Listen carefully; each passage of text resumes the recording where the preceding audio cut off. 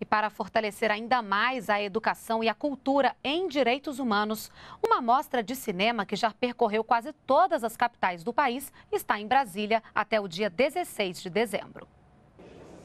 Os 38 filmes em formato digital contam histórias sobre pessoas com deficiência, população em situação de rua e preconceito racial. São três categorias. Na mostra competitiva, as plateias escolhem os melhores longas, médias e curtas. Na mostra Cinema Indígena, vão ser exibidas obras de cineastas de etnias de povos do Brasil. E na mostra Homenagem, o público vai assistir a produções do cineasta Vladimir Carvalho.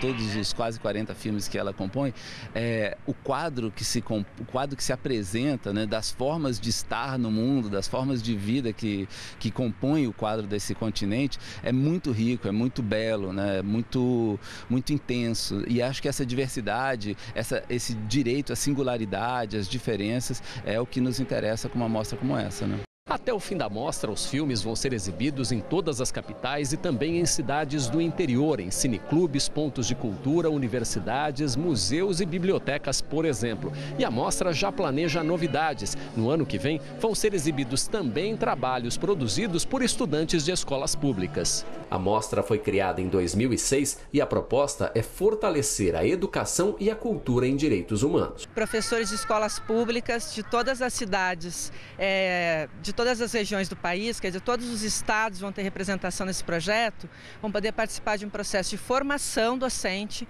onde vai se trabalhar linguagem audiovisual e também direitos humanos, e no primeiro semestre vão estar produzindo é, filmes, produzindo histórias sobre direitos humanos dos seus territórios.